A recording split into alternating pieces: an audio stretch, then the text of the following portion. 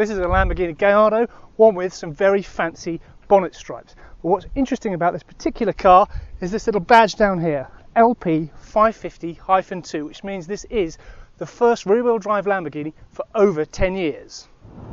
Now officially this is the LP 550-2 Valentino Balboni, named after Lamborghini's legendary test driver, the man responsible for the Miura Countach Diablo and of course this car. And this, this is retirement present.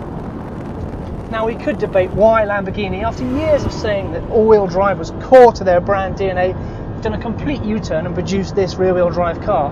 But I think the more interesting thing to do is go to a track and just find out just how much fun a 550 brake horsepower rear wheel drive Lamborghini can be.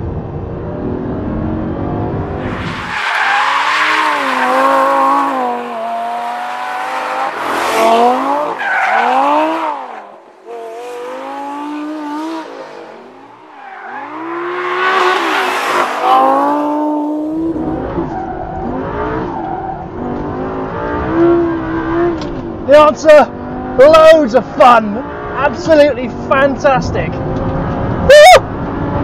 And it sounds mega, absolutely mega.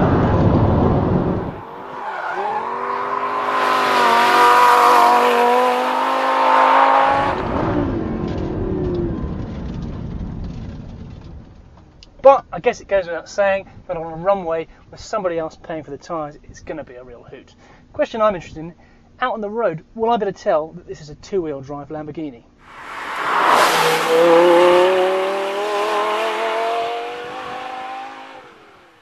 And here's the thing you can actually tell it's rear wheel drive just from driving on the road. The steering is lighter with more feel, and the whole car is more exciting to drive and more agile. The bad news is the Balboni costs £163,000, which is more than the regular Gallardo, and they're only going to make 250 examples. The better news though is, having set the precedent with this car, I reckon we're likely to see more rear drive Lamborghinis in the future.